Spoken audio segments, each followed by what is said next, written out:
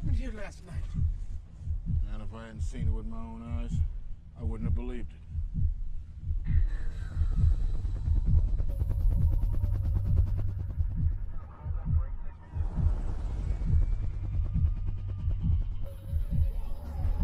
Okay, listen up, gentlemen.